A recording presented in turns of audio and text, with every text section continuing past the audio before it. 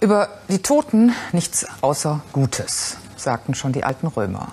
Und so hat der tödliche Autounfall des österreichischen Rechtspopulisten Jörg Haider die Spitzenpolitiker seines Landes heute vor die nicht ganz einfache Aufgabe gestellt, den Toten zu würdigen, ohne so zu tun, als sei er ein Politiker wie jeder andere gewesen. Sie haben es dann recht geschickt gemacht. Bundeskanzler Gusenbauer sagte, Haider habe die österreichische Innenpolitik über Jahrzehnte geprägt.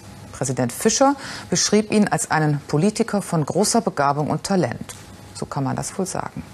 Aus Österreich berichtet Klaus Brempers.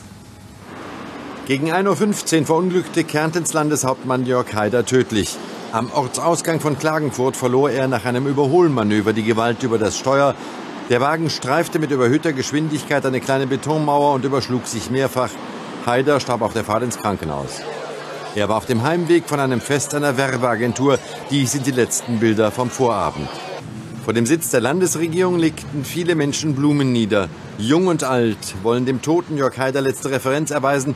Haider hat die Politik der letzten 20 Jahre in Österreich zweifellos mitgeprägt. Er polarisierte und erzielte mit rechtspopulistischen Thesen Erfolge. So ein Mensch gibt es nicht mehr, was, den, was der Jörg Haider war. Der hat für jeden Menschen was getan, der war für alle da. Seine unmittelbaren Mitarbeiter können den Tod noch nicht fassen.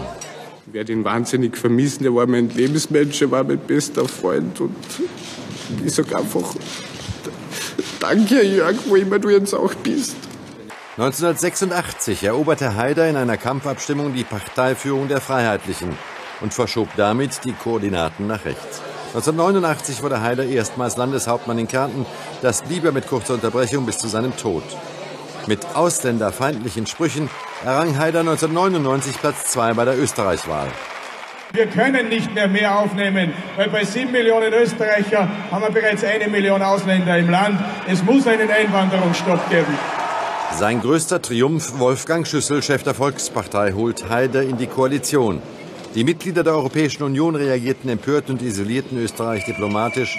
In Wien demonstrierten Tausende gegen die Rechtspopulisten in der Regierung. Nach den Parlamentswahlen in Österreich vor zwei Wochen wird die Regierungsbildung schwieriger. Haider punktete überraschend und spekulierte bereits wieder auf Regierungsbeteiligung.